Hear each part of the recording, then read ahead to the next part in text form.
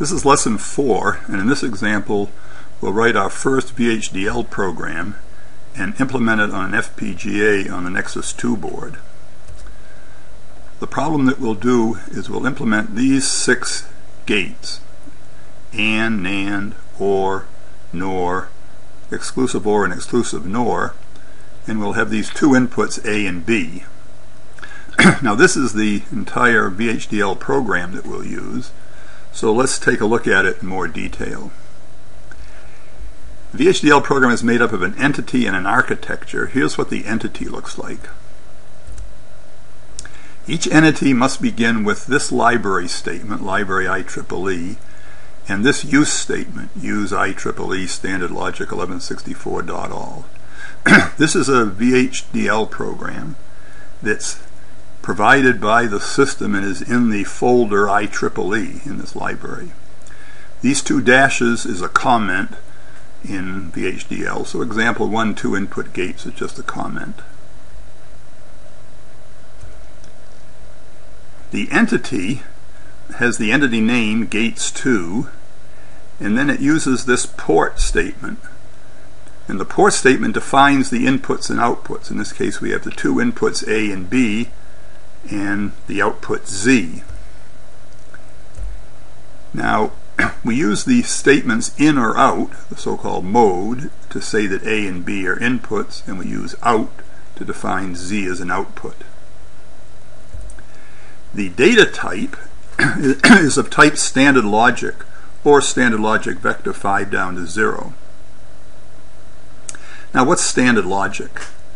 Well, standard logic is a type that's defined in this IEEE uh, library.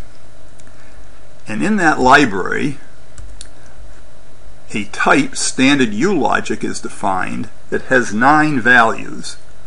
U means uninitialized, X means an unknown, 0 and 1 are the 0 and 1s you're used to, Z means high impedance, W is a weak unknown, L is a weak 0, H is a weak 1, and dash is a don't care. So these nine values are all values that the inputs and outputs of your circuit can have. Now, the reason for this is so that you can resolve the case where two outputs are connected to each other. the type U logic is what's called unresolved, and a resolve signal provides a mechanism for handling the problem of multiple output signals connected to one signal. So standard logic is a subtype, which is a resolved standard U logic. And there's a big resolution table that tells you what's going to happen. So for example, if one output 0 is connected to an output 1, Normally this would be a bad situation, but in this case the result is unknown. So if you simulate a um, circuit where this is the case, the unknown will show up. On the other hand, for example, if you connect a high impedance output to a 1 output, then the resulting output is 1. So these resolution tables are what define what happens of these standard logic types. Now, the AND functions have their own table, AND or the various gates. so here's an example of an AND table that tells you what the AND function is going to do if the inputs are any of the nine inputs of type standard logic and the other input is one of these. Well, the ones we're interested in, of course, mostly are the 0 and 1 inputs and the 0 and 1 inputs, and here is the truth table for an AND gate that you're familiar with, where the output of an AND gate is 1, only if both inputs are 1. But this table tells you what happens for an AND gate for any of the other nine possible inputs. So let's look at the architecture of the program. The architecture, which is the second part of the VHDL program, looks like this for our uh, problem. And notice that we simply use these assignment statements for each of these outputs. And notice we use the signal assignment, less than or equal. So Z0, which is down here, you see is the output of the XNOR gate is just A XNOR B. Similarly, Z5 up here is just A and B. Now, the statement architecture has a name. I call it Gates 2 here. You could call it something else.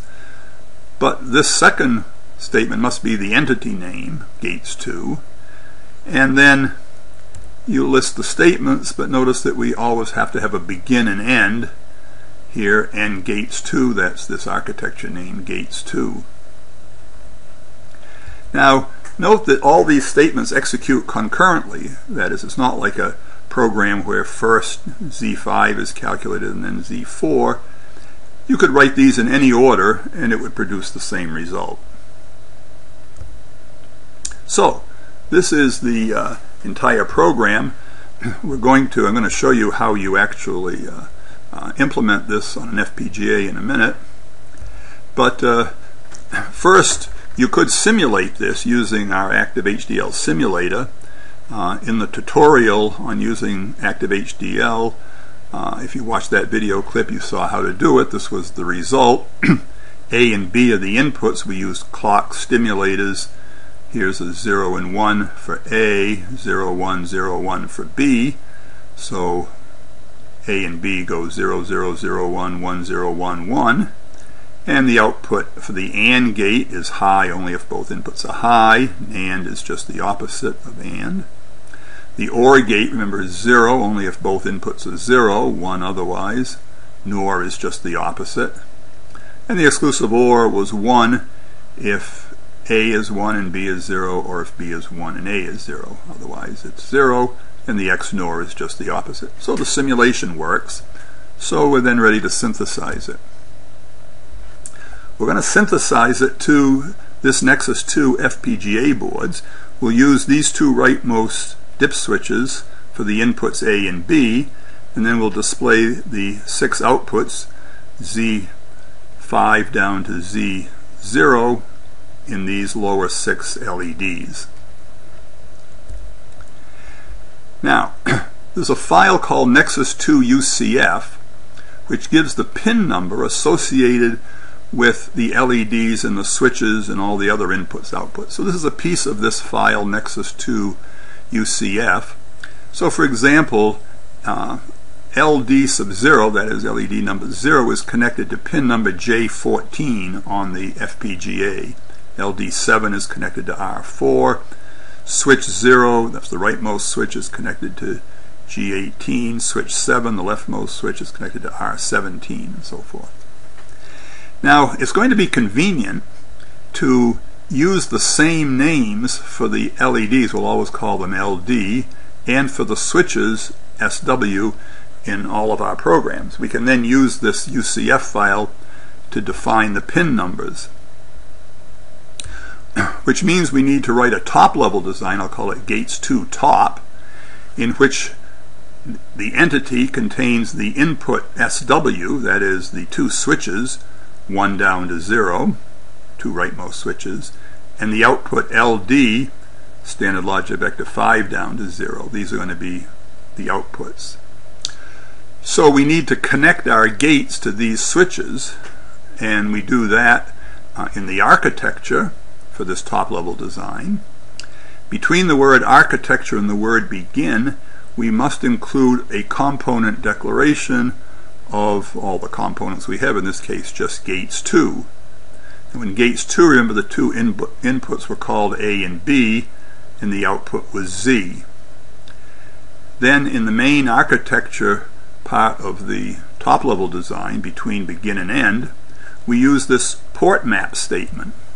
So we have the component declaration and we have the component instantiation where we define this label C1, an arbitrary label, gates 2, that's the name of this component, and we use this port map statement, where on the left-hand side are the inputs and outputs of the component, A, B, and Z, and on the right-hand side we write down what they're connected to. That is, these are the inputs and outputs of the top level design. So A is going to be connected to switch 1, B to switch 0, and Z, which was standard logic vector 5 down to 0, gets connected to LD, which we defined in the top level entity as being also 5 down to 0. So we can just set Z to LD. So this is the top level design.